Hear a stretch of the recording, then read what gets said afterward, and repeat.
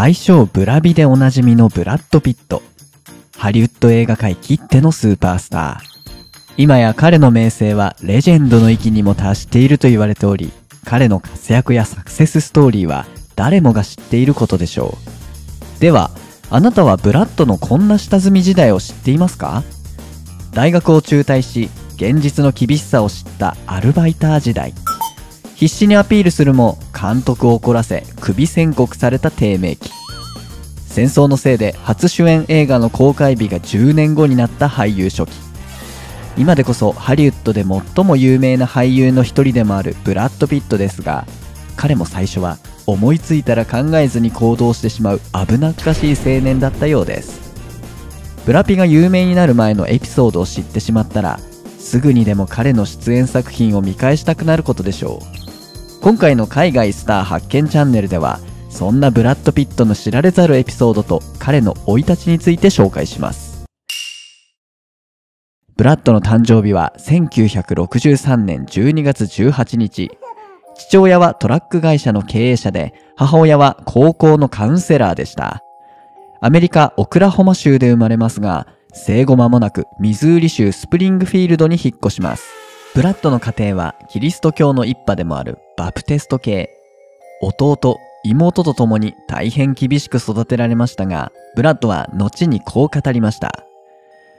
家では何に対してもうるさく決め事があって、特に親父は俺たちに常に辛く当たったんだ。俺は次第に神様を信じなくなっていった。家を出てからは一切キリスト教には関わっていないね。厳しい家庭環境の中でもブラッドは多くのことに興味を示したようです。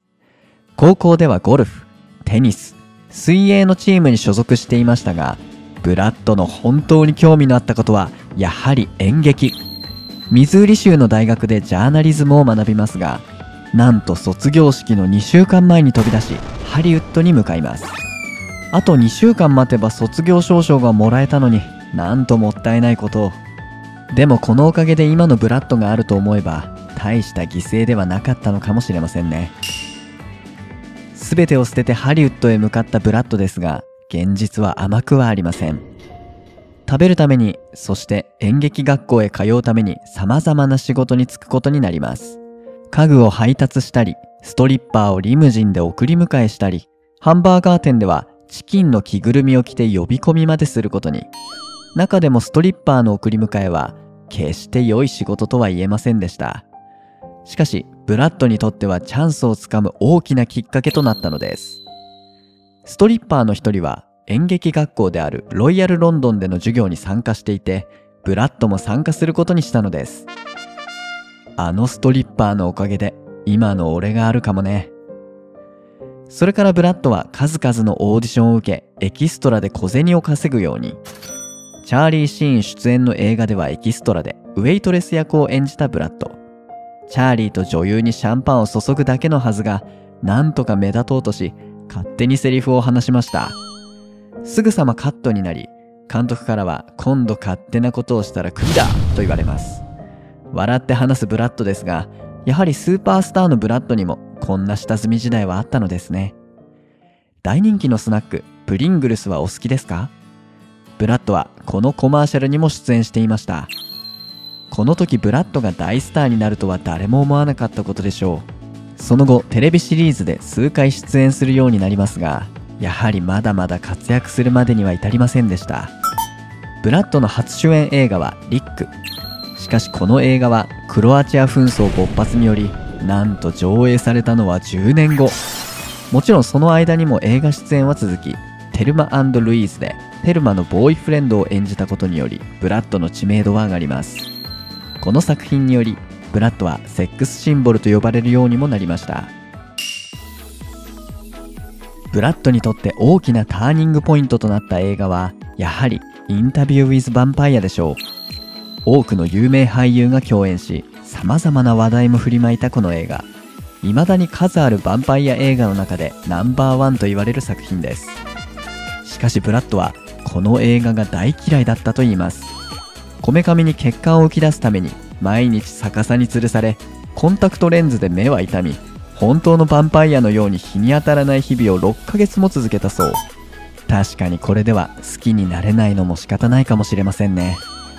同じく1994年にはレジェンド・オブ・フォールが公開されブラッドはゴールデングローブ賞で主演男優賞にノミネートされました。1995年にはセブンに出演。12モンキーズではゴールデングローブ賞で助演男優賞を受賞。アカデミー賞でも初めての助演男優賞にノミネートされ演技派としても認められるようになります。スターダムに上りつつあるブラッドですがやはり苦悩の日々もありました。1996年に出演した法廷ドラマであるスリーパーズでは賛否両論を受けます。翌年1997年にはグイネス・パルトローと旅行中にパパラッチに全裸の写真を撮られます。訴訟で勝訴しますが時すでに遅く。写真は大衆の目にさらされた後でした。同年グイネスとは破局し映画デビルに出演するも暗雲が立ち込めます。いろいろと行き違いがあり役を降板しようとしたブラッドですが監督から損害賠償を求められしぶしぶ続けます。降板せずに出演し映画公開となりますが満足のいかない結果に次なる映画「セブン・イヤーズ・イン・チベット」は評論家に酷評され失敗作とまで言われてしまいました。この映画のインタビューでブラッドは中国のチベットに対する対応をどう思うかだってそんなこと俺には関係ないさ。俺はただの役者だからね。と言っていました。この映画は政治的要素も合わせていたので中国からの非難を受けブラッド監督ディレクターは生涯中国への入国を拒否されることに。大変なことになりましたね。でも大丈夫です。後に入国拒否は取り消されブラッドは2014年2016年に中国を訪れることができました。1998年にはレジェンド・オブ・フォールで共演したアンソニー・ホプキンスと再共演。成功を期待しましたが結果は芳しくなくこの映画はその年一番の最低映画にノミネートされるほどの不本意な結果となりました。なかなか思い通りの結果が出ないブラッドでしたがその後も映画出演が続きます。ファイトクラブでは役作りのために前歯を除去カルト的な人気作品となりスナッチでもボクサー役で好評を得雑誌「ピープル」誌から2度目の最もセクシーな男性を受賞します。スパイゲームではロバート・レッドフォードと共演。高評価を得テレビドラマではフレンズに出演し当時の妻であるジェニファー・アニストンと出会います。シリーズ化となった「オーシャンズイレブン」は高評価を受け興行成績も大変良いものでした。アクションコメディのミスターミセス・スミスは2005年のヒット作の一つとなりここでアンジェリーナ・ジョリーと出会います。講師ともに絶好調のブラッド。バベルではゴールデングローブ賞助演男優賞にノミネートされブラッド自身もこの映画に出演したことは自分の中でも最高の選択だったと語っています。その後も俳優監督として数々の映画に携わってきたブラッドはまさにハリウッドのレジェンドと呼んでも過言ではないでしょう。ブラッドと最初の噂になった女性は1990年にテレビ映画「トゥルー・ブルース」で共演したジュリエット・ルイスです。ジュリエットとは3年ほど交際をしますがすでに名前の知られていたジュリエットと駆け出しだったブラッドの間にはすれ違いも多くブラッドはジュリエットの元を去ります。ジュリエットは昇進のため自殺未遂騒ぎを起こしました。1993年にブラッドはロードムービーカリフォルニアでジュリエットと再共演します。2人はどんな思いで再会したのでしょうね。1995年セブンで夫婦役を演じたグイネス・パルトローとは私生活でも夫婦となるはずでした。しかし2人は破局を迎えブラッドは1998年にテレビドラマ「フレンズ」で共演したジェニファー・アニストンと結婚。2人はハリウッドでも珍しいおしどり夫婦と呼ばれましたがブラッドはアンジェリーナ・ジョリーと共演し急接近。ジェニファーとの離婚協議が進む中ブラッドはアンジェリーナとの関係も続け2005年にジェニファーとの離婚が成立します。2006年にアンジェリーナはブラッドの子供を宿していると発表し結婚間近とも思われましたが結局結婚はせずに2010年に破局となります。長年映画界の第一線で活躍しているブラッドですが他にも長年トップの地位を保っていることがあります。何かわかりますか？それはチャリティーへの寄付金ランキングです。アンジェリーナと共に設立したジョリーピット基金では様々な団体に寄付していますが特に子どもの養護施設への寄付が多いそう。2008年には総額で11億7000万円もの寄付をしました。その後も常に上位にランキングされています。映画俳優として監督としてそして人間として